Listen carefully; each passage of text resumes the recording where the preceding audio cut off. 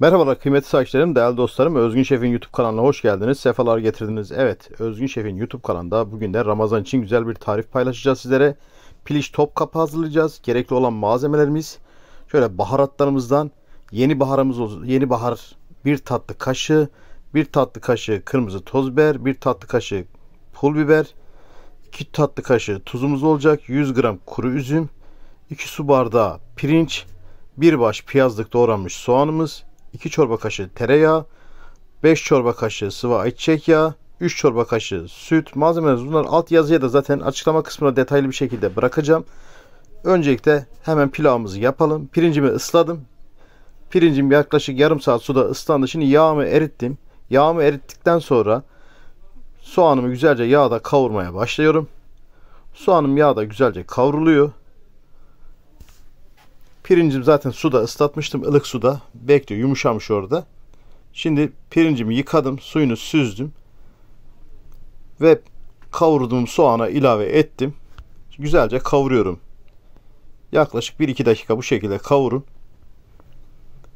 Ardından baharatlarımı ilave ediyorum. Bir tatlı kaşığı karabiber, bir tatlı kaşığı yeni bahar ve kuş üzümü, 100 gram kuş üzümü, yani marketlerde olan paketler var ya o 90 gram 100 gram bandında onlar zaten.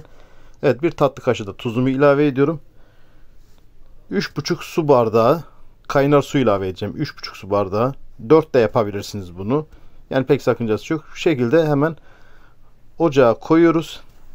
Bu arada pilavımız çekerken ben de hemen sosumu hazırlıyorum tavuk için.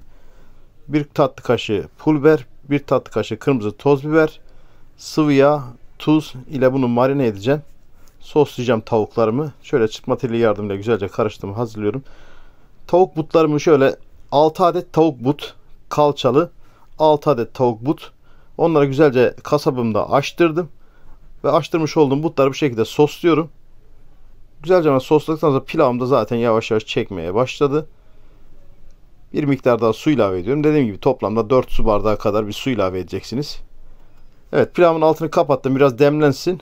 Evet pilavım artık demlendi. Demlenen pilavımı hemen bir kasenin içerisinde tavuk butları açtım ve pirincimi doldurdum. Hazırlamış olduğum pirinç pilavını iç dolgusu için. Bu şekilde görüyorsunuz ekranda da.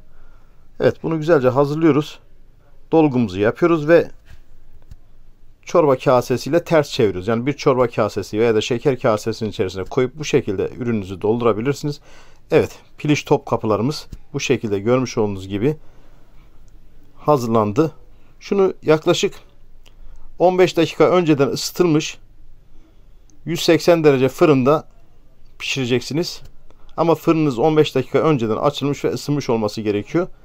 Ben de şöyle tavuk butlarımın içerisini doldurdum. Dediğim gibi kasabınıza söyleyin. Bütün tavuk butlarını kemiksiz yapsın. Kemikten ayırsın. Sizlere bu şekilde genişletilmiş şekilde açarlar, hazırlarlar. Bu şekilde de pilavınızı dolgu yaparsınız. Zaten malzemeleri de açıklama kısmına yazacağım ben. Evet 6 adet hazırladım. 6 adet fırınımı da yaktım. Yaklaşık 30 dakika boyunca pişirdim. Ürünümü hazır artık. Evet, hayırlı Ramazanlar diliyorum şimdiden sizlere. Umarım bu tarifimizi beğenmişsinizdir. Kanalımıza abone olmayı ve sevdiklerinizle paylaşmayı unutmayın. Hepinize sağlıklı, huzurlu, güzel bir Ramazan diliyorum. Şimdiden Allah'a emanet olun efendim.